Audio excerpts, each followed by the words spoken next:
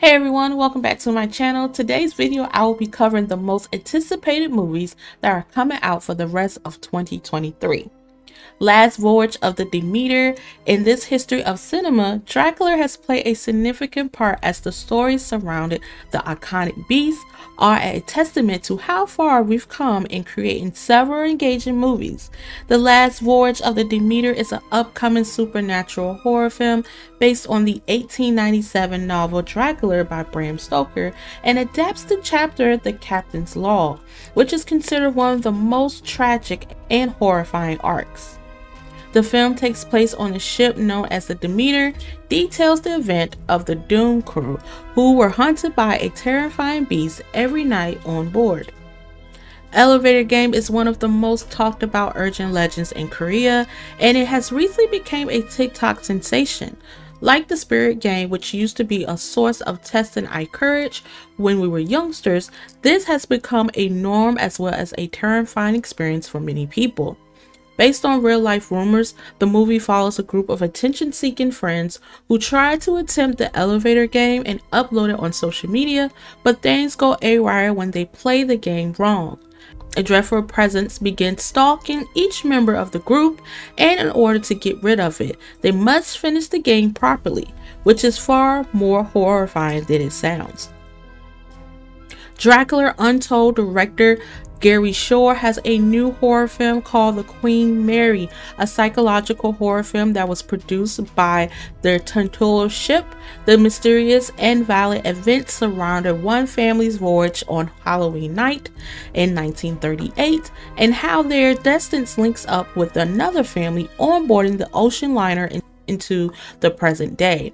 The Queen Mary, now on anchor of Long Beach, California, was once a luxury ocean liner and a favorite mode of transporting for generations of the rich and famous.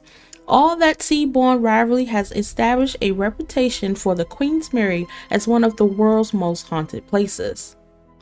The Conjuring universe has a little something for almost everyone, and now is back with The Nun 2. The sequel will fast forward four years after the 2018's The Nun, and it will focus on Sister Irene dealing with demon Valak. Sister Irene as she once again comes face to face with the demon. A Haunted in Venice inspires the novel Halloween's Party. A Haunted in Venice is set in eerie post-World War II Venice and All the Hallows Eve in its terrifying mystery featuring the return of the celebrating sloth of Hercule Poirot, now retired and living in self-imposed exile in the world's most glamorous city, reluctantly attends a seance at a decaying hunting plateau. When one of the guests is murdered, the detective is thrust into a sinister world of shadows and secrets.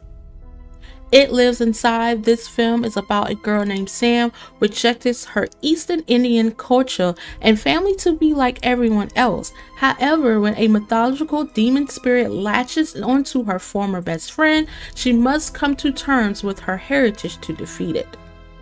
Back in 2017, Netflix released Veronica, a Spanish horror film directed by Paco Plaza that still tops the list as one of the service's most scary films.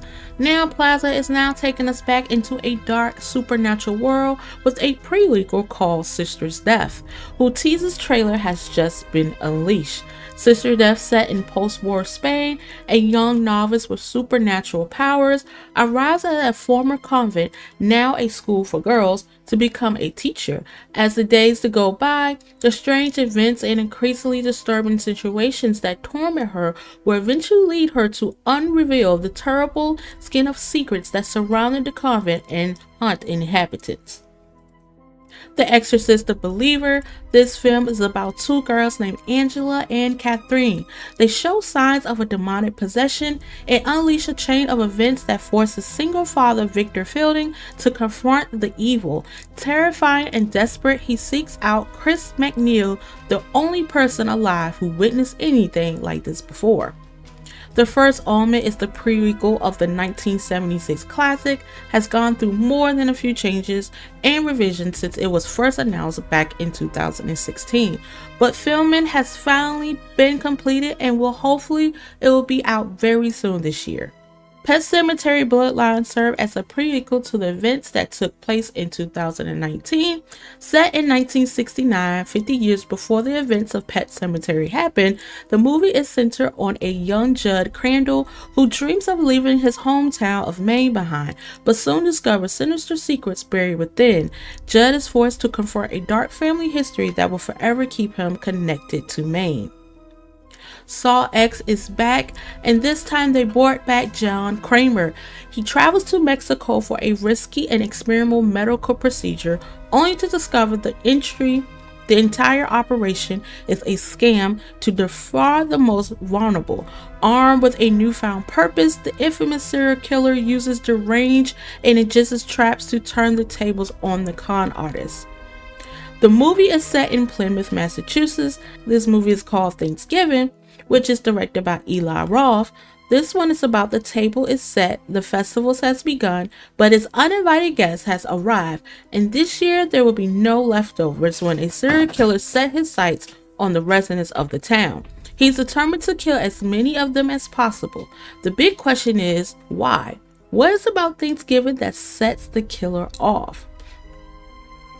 So this is all I have for the most anticipated movies that will be coming out this year. Hopefully the first Omen will comes out. This one sounds a little bit interesting, so I'm looking forward to that.